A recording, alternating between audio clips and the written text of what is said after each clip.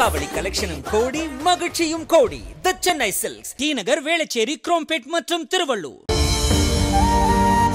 நெஞ்சுவலியுடன் முறையாக அரசு பேருந்தை இயக்கி விபத்தில்லாமல் எழுபது பயணிகளின் உயிரை காத்த ஓட்டுநருக்கு பாராட்டுகள் குவிந்து வருகிறது. தஞ்சாவூரிலிருந்து மதுரை நோக்கி அரசு பேருந்தை இயக்கிய ஓட்டுநர் வீரமணி என்பவருக்கு இருமுறை நெஞ்சுவலி ஏற்பட்டுள்ளது. இருந்தபோதும் விபத்தின்றி ஓட்டிச் சென்ற அவர் பின்னர் புதுக்கோட்டை அரசு மருத்துவமனையில் அனுமதிக்கப்பட்டார்.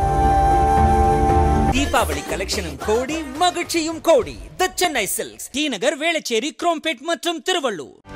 செய்திகளை உடனுக்குடனும் துல்லியமாகவும் தெரிந்து கொள்ள சப்ஸ்கிரைப் பண்ணுங்க.